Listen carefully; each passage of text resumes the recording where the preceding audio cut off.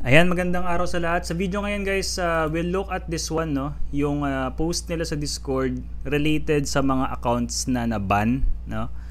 Uh, binanggit nila dito na they'll be adding more bans, no? Sa mga players na nag-violate ng uh, TOS. So medyo lengthy itong post nila related to that at para simple na lang nilipat ko sa aking um, Word, no? Uh, but before this, guys, um, I made some little information here on some parts of the TOS na baka nakalimutan na natin at kailangan natin ng refresher. Alright?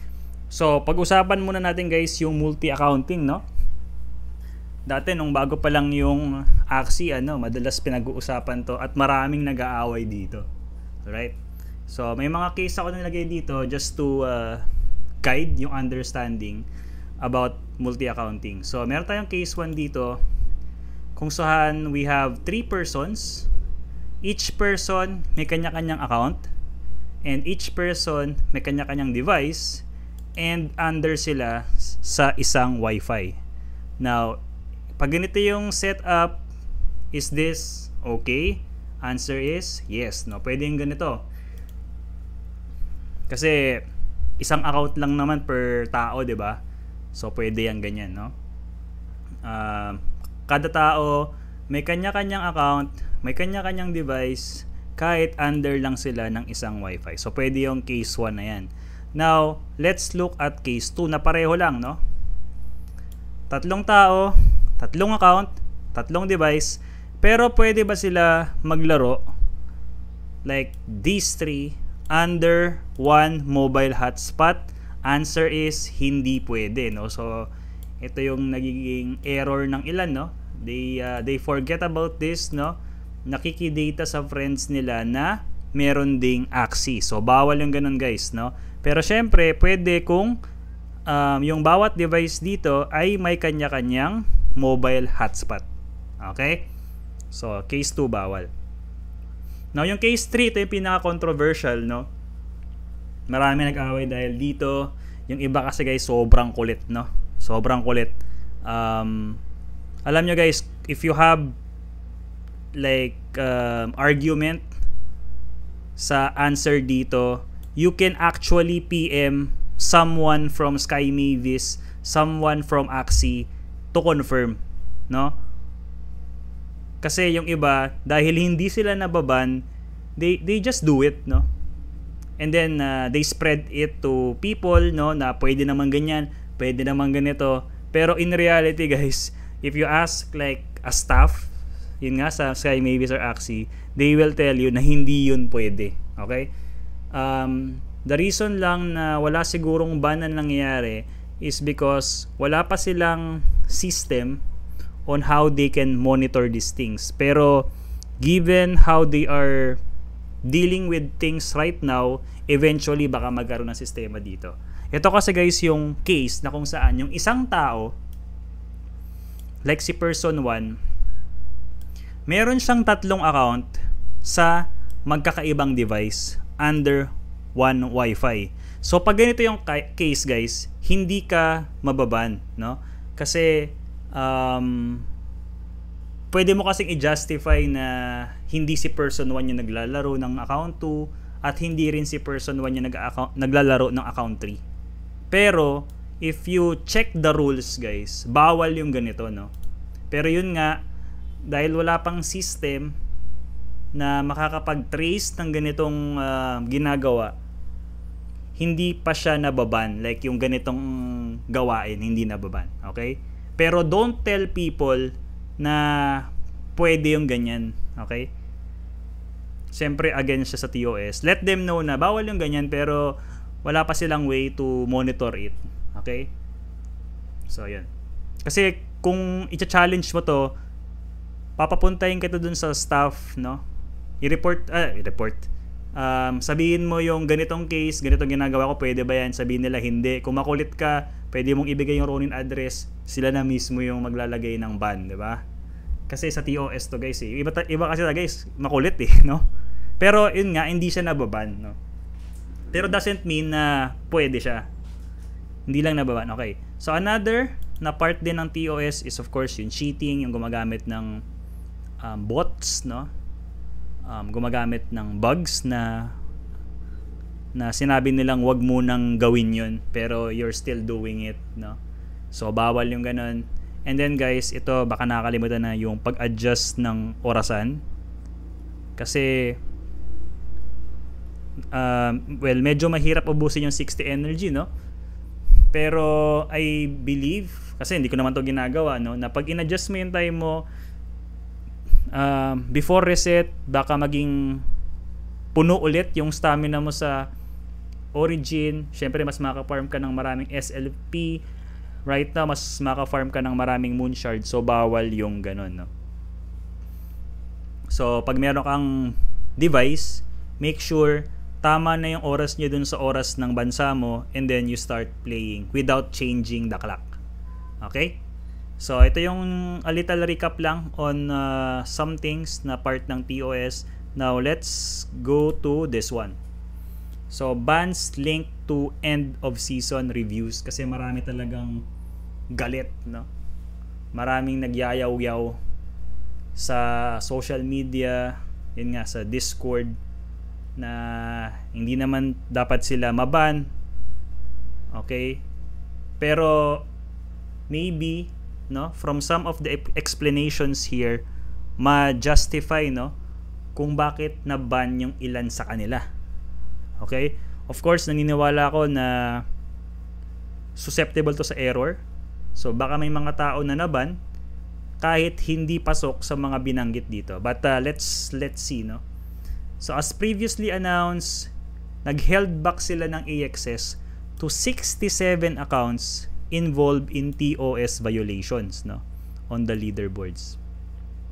And then in addition, nag-issue pa sila ng 56 bans no. So while there is some overlap with the accounts that lost their AXS rewards, no, the bans were not limited two wallets on the leaderboard. Ibig sabihin, kahit hindi ka part ng leaderboard at nalaman nilang may ginawa kang against the TOS, damay ka pa rin sa ban, no? Wala ka ng premyo dahil wala ka sa leaderboard. Actually, yung mga naban na nasa leader, wala rin naman AXS.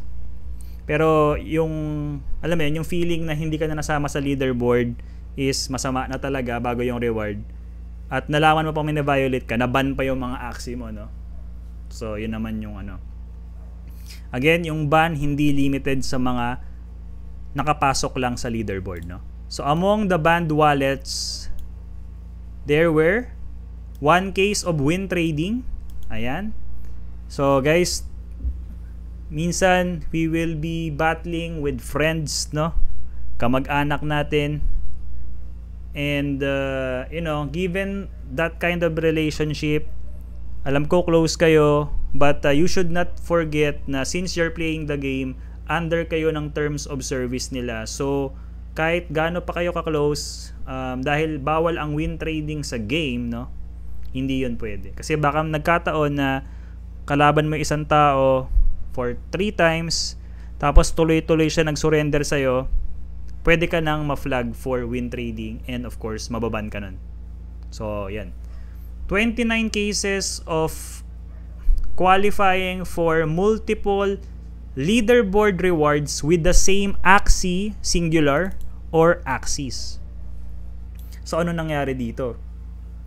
Meron kang team na ginamit sa account 1, nakaabot sa leaderboard, nahirapan ka na, So, ang ginawa mo, yung mga action na yon nilipat mo sa another account, ginamit mo ulit at inangat mo ulit, at paghirap ka na naman, you will be using the same team, lipat sa another account. Okay? Again, um, hindi lang to mag apply sa buong team, but yung Axie mismo. Tandaan nyo guys, yung pagkaka-type dito, Axie or Axis. Now, kung ginawa mo to at hindi ka nahuli, be careful na Okay? Kasi yung isang aksi na nagamit sa isang account ng maraming beses to climb the leaderboard at ginamit ulit yung same aksi para maangat yung another account sa leaderboard, okay, pwede kang ma-flag for ban. So, ingat. 25 cases of people repeatedly abusing the second turn bug, no? So, ito rin siguro yung uh, mag-justify na you need to update yourselves sa mga announcement, no? Na pag merong known bug at nagsabi sila na wag mo nang gawin yun, pero ginawa mo pa rin, So, yun na. Um, subject to ban ka eventually. Okay? Kasi ganun sila. Nagbaban sila pagtapos na yung season, hindi during, no? Na I think yung during okay din naman, no? Para at least yung ibang tao medyo magbe-behave. Okay? So, our TOS states, using the same axis across multiple accounts to qualify for multiple leaderboard uh, board rewards is strictly prohibited. Babasahin ko ulit, no? Baka makalimutan. Using the same axis across multiple accounts to qualify for multiple leaderboard rewards is strictly prohibited. Now, itong rule na to, kung sinabi ko to during season, wala namang makikinig sa akin, no? Pero dahil implemented siya ngayon at ramdam talaga ng mga tao, makikinig talaga sila no?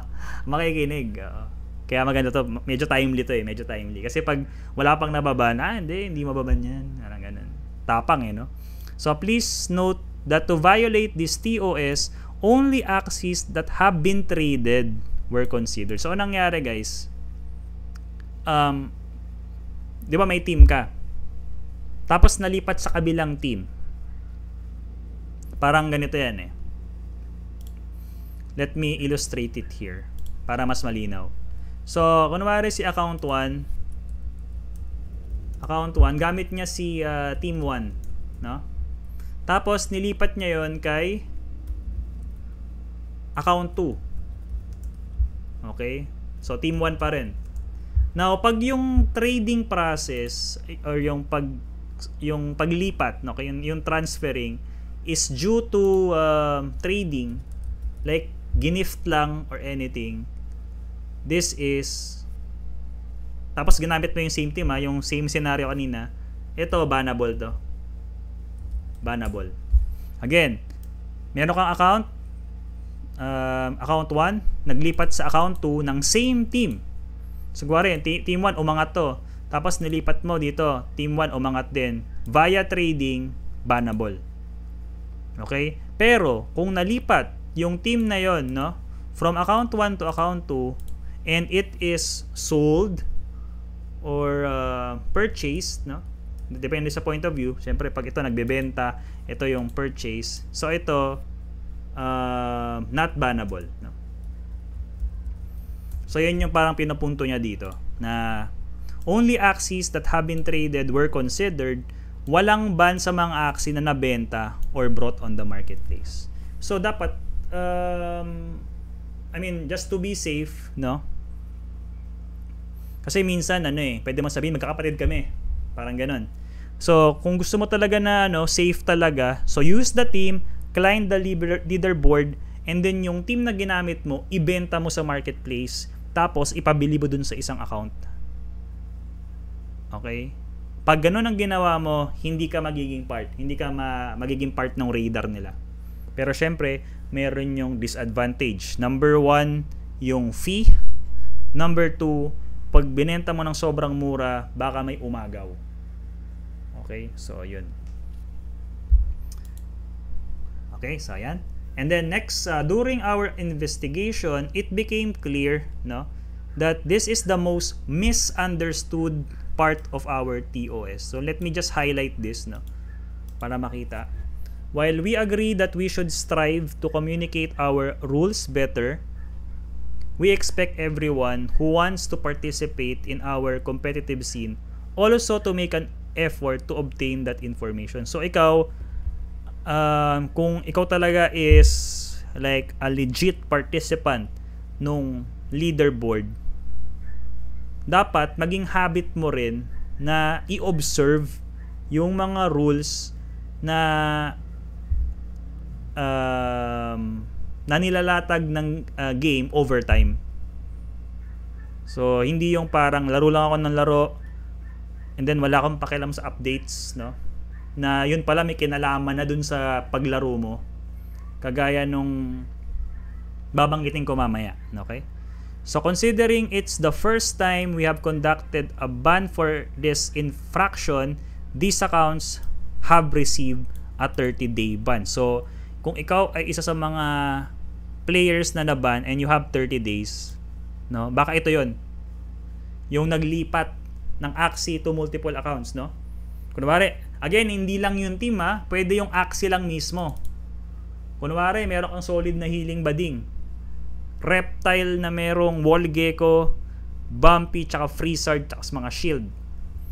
Okay? Ginamit mo sa account 1 para mag-climb sa leaderboard using healing bading. Nilipat mo sa another account para umangat agad. Nilipat mo ulit, tapos na na-ban ka, wala kang AXS, tapos 30 days, okay, um, there is a chance, no, na baka ito yung violation mo. Okay? So, yan. For people who abuse the second turn bug, no, a warning was issued on the 12th, 12th of July stating that abusing this exploit is against our TOS. So, merong announcement about this one. No? Pero, dinistinguish nila yung mga nag-abuse nito. No? Yung before the warning and then yung after the warning. Pero parehong case, walang AXS reward. Pero kung after July 12, ginagawa mo pa rin yung daya, yung second turn bug, meron ka pang 90 day ban. Okay? So sabi nila, sa pag-decide ng mga ban na, na yon, tinignan nila yung mga repeated um, offenders, no? Yung ano, so, repeat offenders na pinapaniwalaan nila na merong significant impact sa kanilang system. So, pwede mo tong nagawa for a few times, maybe like three times, or maybe hindi mo sinasadya. Okay? Pero, if it uh, was, was revealed sa kanilang system na yung lag mo, yung lag ng mga game mo, tuloy-tuloy kang um, turn 2, so pwede ka maging part ng um, ban na to, no? And if you are seeing 90 days, okay? Kasi may mga alam kang rules, 'di ba? Sabi mo hindi mo naman na violate. Pero you recall abusing the second turn bug and you have 90 days ban, baka ito yung kasalanan mo. Okay? So this means uh, we have not taken action sa mga taong um, not reported prior to our evaluation and sa mga gumawa lang ng few times. Pero hindi naman totally talagang inabuse na naapektuhan yung kanilang turn ratio. Kasi 'di ba may turn ratio tayo, dapat yung yung mga times na naging turn 1 ka at yung mga times na naging turn 2 ka, balance lang. Now, pag napansin nila na kunwari 90% of the time turn 2 ka, So, baka malista ka na dun sa mga mababa ng 90 days at walang AXS rewards. Okay? So, I want to point out that the various trackers we've seen online that supposedly track the percentage of uh, second turn games have been wildly incorrect. So, meron tayong mga management tracker, di ba? Para makita yung mga naging laban. Kunwari, kunwari, kunwari ikaw, no? Nakita mo na ban ka, tapos sinasabi mo, hindi naman ako laging turn 2 nakita ko yung tracker, ah, binilang ko yung mga turn 1 ko tsaka turn 2, hindi naman masyadong malaki yung difference. Pero binanggit nila na hindi raw reliable yung mga online trackers online at ang ginamit nilang data ay yung nasa database nila. Okay? Kasi malay mo magkakontsaba, di ba? Kasi ano yan eh, mga mga third party yun eh, no? So, mas reliable syempre yung nasa database nila. We know that some are frustrated with people who get away with cheating. So, of course, guys, meron pa ring mga nakalusot dito. For sure, no? Kasi, um, me- medyo conservative rin siguro si Axie sa pagbaban, no? Ayaw niya naman maban yung iba na hindi pa like solid yung evidence nila to ban them but they are working on it no? kagaya nung sa multi-accounting na binigit ko kanina so we'll be looking to create a way for people to easily submit reports of suspicious activity in the near future and allocate more resources to follow up on these reports during the season rather than mostly after it has concluded okay So, I'm not sure but uh, eventually siguro magkakaroon tayo like mababan yung player during season. At uh, yun yung magiging way para ma-discourage. Kasi during season, pag may bug, abuse, abuse, abuse, abuse, no? Pa- parank ng parank.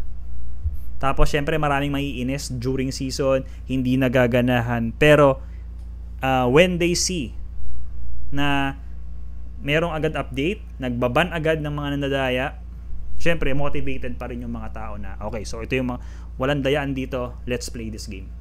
Kasi 'di ba? Paano ka gaganahan kung alam mo na yung karamihan nadadaya lang pala? Finally, we know that some players who did not receive their AXS rewards are not on our list of disqualified wallets.